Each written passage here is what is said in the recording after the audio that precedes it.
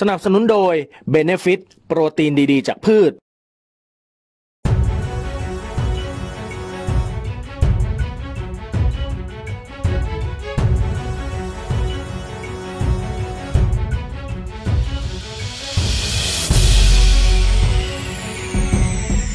อดีตหัวหน้าพักรักประเทศไทยนายชูวิทย์กมลวิสิทธิ์โพสต์ข้อความผ่านทาง Facebook ระบุว่า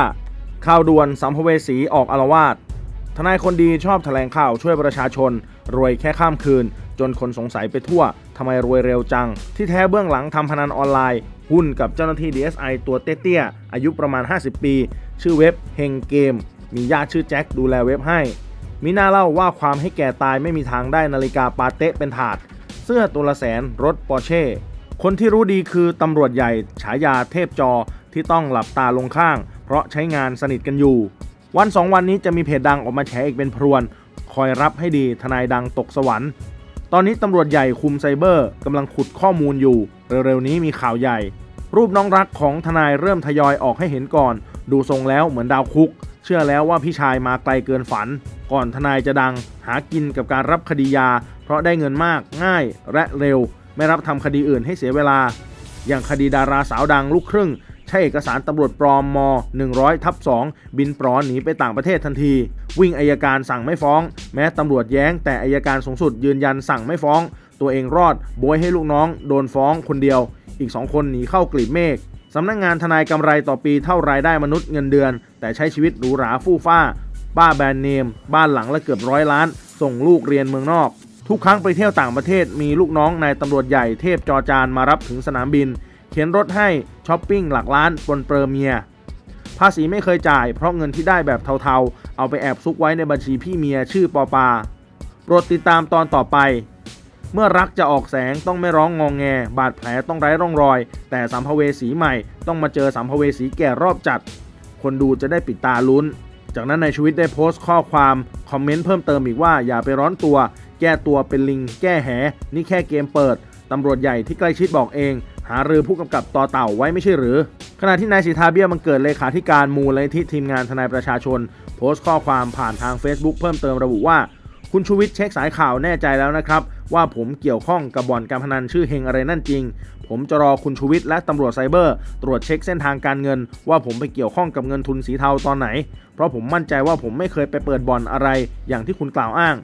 ถ้าตรวจไม่เจออย่างที่เล่นใหญ่ไว้ ก็รับผิดชอบการกระทำตัวเองด้วยแล้วกัน ส่วนเรื่องน้องชายต่างแม่ของผมที่มีความสัมพันธ์กันห่างๆถ้าเขาไปโฆษณาบ่อนการพนันอะไร ก็แจ้งความจับเขาได้เลย เพราะผมไม่รู้เรื่องด้วย ใครทำผิดก็ต้องรับผิดชอบ ขณะที่เพจ CSI LA ก็ได้ออกมาโพสต์คอมเมนต์ของนายชูวิทย์โดยระบุว่า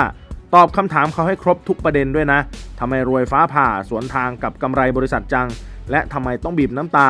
บอกไม่มีเงินซื้อของกินให้ลูก นี่หรือคนยกตัวเองว่าไม่พูดโกหก ทนายประชาชน ขณะที่เมื่อวันที่ 2 เมษายน 2566 ที่ผ่านมา นายพัทรพงศ์สุภักษรหรือทนายอันที่จังหวัดบุรีรัมย์ได้นำหลักฐาน ซึ่งอ้างว่าเป็นสลิปที่แฟนคลับของลุงพลที่อยู่ต่างประเทศ โอนเงินมาช่วยเหลือเรื่องคดีลุงพลจำนวน 5 0 0 0 0 0บาท เข้าบัญชีมูลนิธิทีมงานทนายประชาชน เพื่อเยาวชนและสังคมของนายสิทธาเบี้ยบังเกิด หรือทนายตั้มออกมาแฉ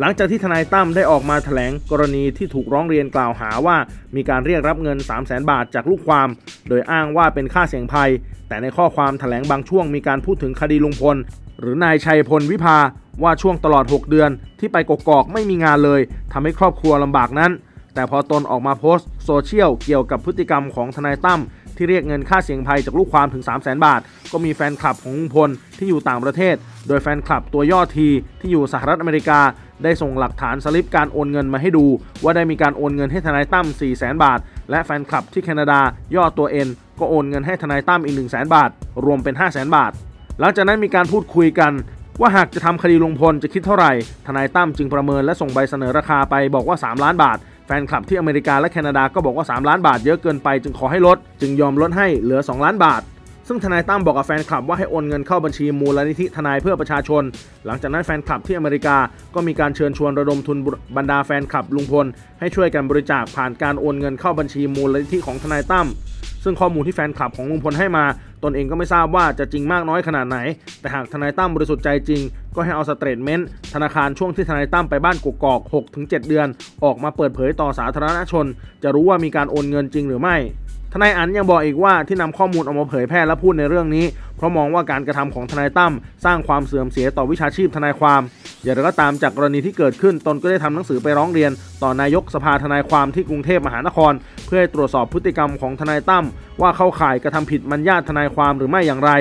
หากตรวจสอบแล้วพบว่ามีพฤติกรรมที่ขัดต่อข้อบังคับสภาทนายความว่าด้วยมัญญาทนายความ 2529 ว่าด้วยการดำรงตนอันเป็นการฝ่าฝืนต่อศีลธรรมอันดี หรือเป็นการเสื่อมเสียต่อศักดิ์ศรีและเกียรติคุณของทนายความ ก็ควรจะพิจารณาลงโทษตามระเบียบของสภาทนายความ